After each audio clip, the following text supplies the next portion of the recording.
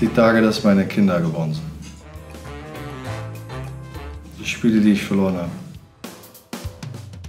Dennis Bergkamp. Pfannkuchen. Meine Mentalität. Ungeduldig. Konzentriere ich mich und äh, bereite mich vor für dem Spiel. Trinke einen Schluck Wasser und komme runter und konzentriere mich auf zweite Halbzeit.